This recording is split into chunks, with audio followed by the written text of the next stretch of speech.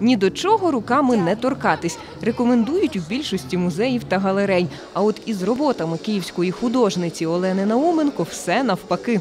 Мої картини можна торкатися руками, Е, можна там їх е, знімати, одягати, ну так без фанатізму, звичайно. Е, Але це нема вони інтерактивні.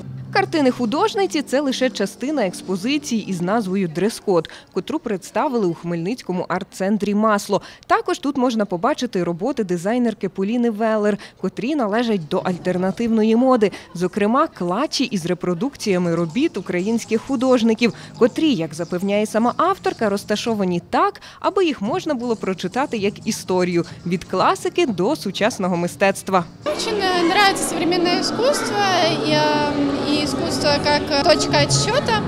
Э, Я трансформирую то, что вижу. Меня интересует поиск новых форм, э, новых фактур, новый цвет.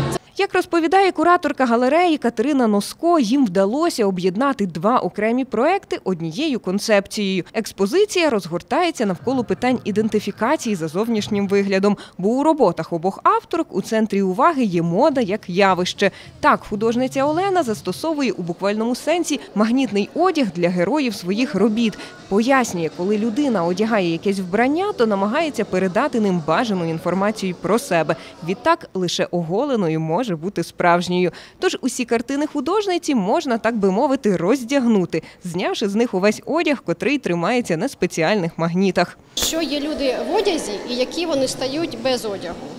Е, Що вони представляють е, одягнення, та яку інформацію вони несуть, і е, що з ними відбувається, коли вони залишаються оголеними наодинці самими собою, і що вони представляють тоді?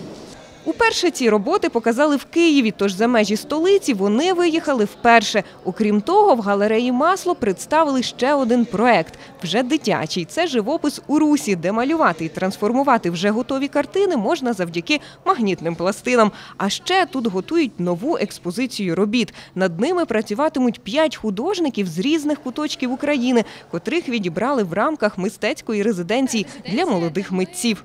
Будемо протягом двох тижнів працювати з художниками та художницями з усієї України.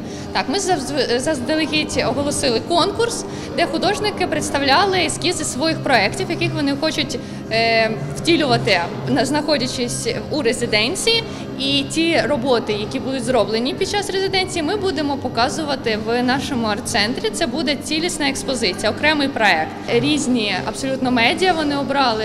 Буде і фотографія, і скульптура, і живопис, і графіка. Це буде дуже різні види мистецтва, які всі працюють на тему кордони та, е, кордонів та меж. Нову експозицію зможемо побачити вже восени.